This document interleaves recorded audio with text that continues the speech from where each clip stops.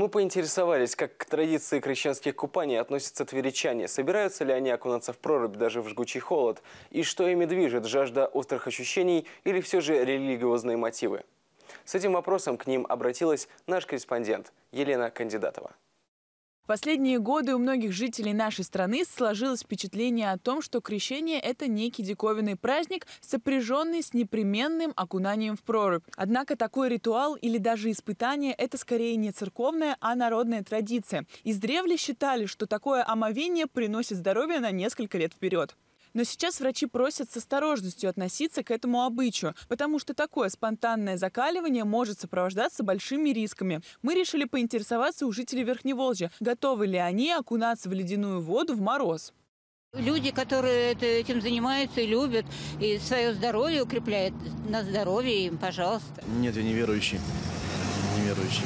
Ну а как думаете, это помогает укреплять здоровье или что? Скорее всего, да, но ну, нужно подготовиться, конечно, к этому. Мы от религии далеки, поэтому я лично не могу ничего сказать. Ну, я к этому положительно отношусь. Я считаю, это хорошая традиция православная. Я думаю, да.